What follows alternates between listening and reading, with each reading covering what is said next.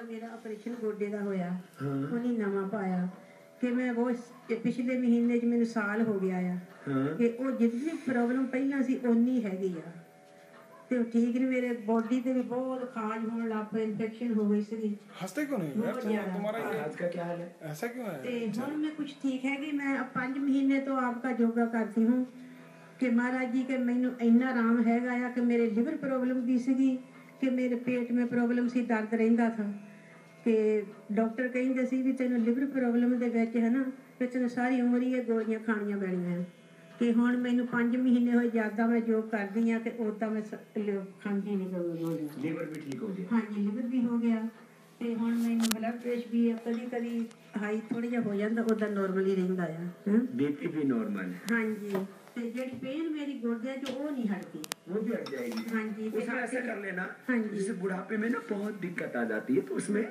थोड़ा चंद्र प्रभावती योगराज गुगल वो वैद्य दे देंगे बता देंगे। ਤੇ ਹੱਥ ਜਿਹੜਾ ਸੱਜਾ ਮੇਰਾ ਹੱਥ ਹੈਗਾ ਜਿੱਧਰ ਆਪਰੇਸ਼ਨ ਹੋਇਆ ਨਾ ਕਿ ਕभी कभी ਮੇਰੇ ਤੇ ਹੈ ਨਾ ਰੋਟੀ ਵੀ ਨਹੀਂ ਖਾ ਹੁੰਦੀ अब वो थोड़ा उसमें और मदद मिल जाएगी।